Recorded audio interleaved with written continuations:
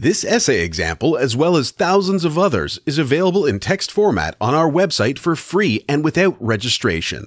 Simply Google IvyPanda Free Essays. The Travels of a T-shirt in the Global Economy The Travels of a T-shirt in the Global Economy focuses on the impact of globalization and free trade. Pietra Rivoli recounts her fascinating adventure around the world in order to find out the origin of her t-shirt. She travels from a cotton field in Texas to a Chinese factory and from there goes to a used clothing market in Tanzania and in the process describes the transformation of raw cotton into a t-shirt. She analyses the international trade through the story of a simple product and gives her perceptions of the workings of a global economy.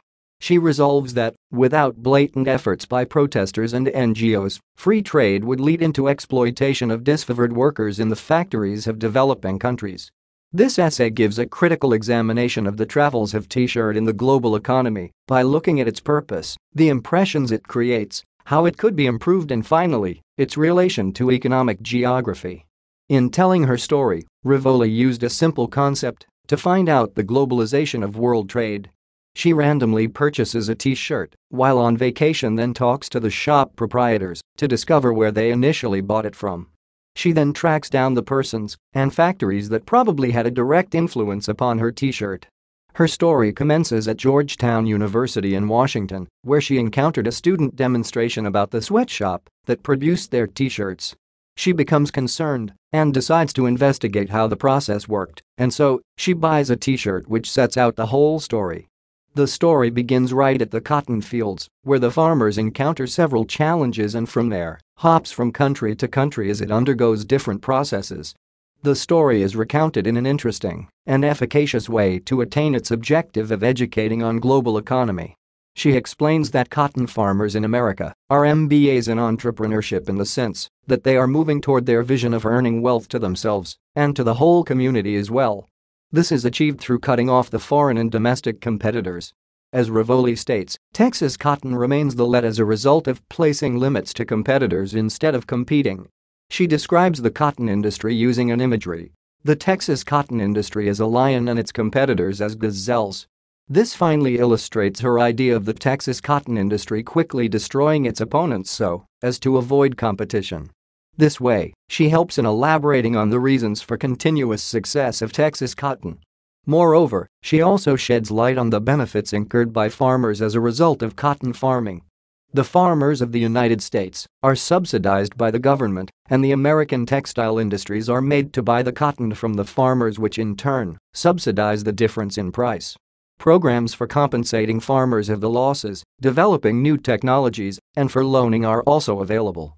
On the contrary, other countries as India and Pakistan cannot even afford to compensate their farmers. This is quite the opposite of America. Farmers in such countries are depressed as seen in the example of an Indian cotton farmer who decided to drink pesticide as a way of expressing his fate in farming. Through this, the economic situations of different countries are depicted. Protectionist policies are what the American government has applied in order to prevent imports, and though this might be viewed as a short-run resolution of imports to any nation, it does help in preserving domestic products and the jobs of dozens. When drawing the cotton processing in Chinese factories, Rivoli reveals the inhuman conditions in the sweatshop. She mentions the condition of workers, and especially women who work for long hours at the factories for little pay. She provides an example of a young woman, Jiang Lan, whose work is to tie strands of broken yarn she works for six days per week, eight hours a day, and all what she gets is $100 per month. This is surely a low pay considering the fact that she works for long hours and only has one day to rest in a week. Quite to the contrary, these women are willing to work on the factory as it frees them from the donkey work and arranged marriages in the countryside China. This reflects the poor political governance that does not protect the workers' rights China's communist policies that socially classify people such as the Hukou are unnecessary and unfair to many as it prevents people from becoming who they want to be. This is a matter that the Chinese government needs to look into. Nevertheless, Rivoli's writing creates such an important realization that the need for new clothing has made cotton a necessity. This is deduced in the section concerning the Salvation Army where she says that there are nowhere near enough poor people in America to absorb the mountains of cast-offs, even if they were given away. This essentially means that there is unlimited desire for new clothing in and outside America. The used garments are taken to Tanzania trading markets, where they are sold as second-hand garments. Used clothes have become an issue of controversy, and some African countries have banned the importation of cast-offs as a way of protecting their local textile industries. Her opinion on economic policy is something that I agree with. Her sentiment pertaining to the agreement on free trade between China and the United States is that the two states should stop competing and instead let the market determine the best product. Through this, it is made clear that free trade might not be the best line in the short term after all. Moreover, another similar problem occurs when Rivoli talks about the unintended outcomes of Congress legislation that proposes to affirm the occupations of America. A particular case is that of CBTPA and the yarn forward requisite that deters American yarn spinners from exporting their yarn to the Caribbean and from changing production to a cost-effective location. One asks themselves whether the legislations being passed are of any assistance since they prove not to be working to begin with. Instead of wasting time and money maintaining disused jobs, it could be better put to use in other places like funding educational programs and educating dismissed workers. Finally, the book touches on several issues of globalization which are informative. Rivoli, though, can further improve the book by discussing the matters of political and economic subversion.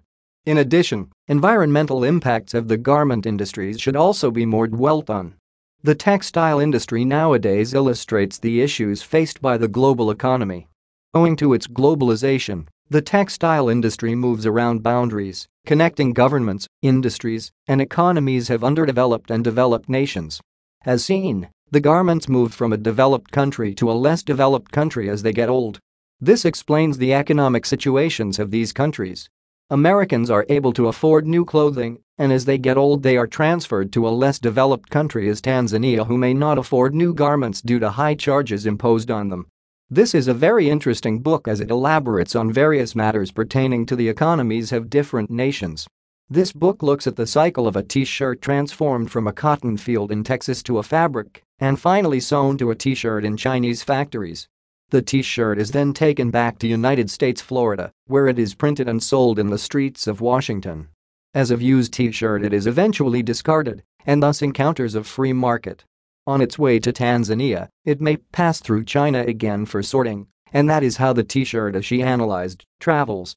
This book expresses approval of the business individuals involved in global trade together with their antagonists who assist in ensuring that trade does not at all cause dehumanization to those that it may serve to assist. Pietra Rivoli hence recounts a story that deserves its success she has done deep research, written well, argued well and even largely elaborated on the turbulent complexness of the global economy. Rivoli though should elaborate more on the economic and political corruption. This critical writing on the travels of a t-shirt in the global economy was written and submitted by your fellow student. You are free to use it for research and reference purposes in order to write your own paper. However, you must cite it accordingly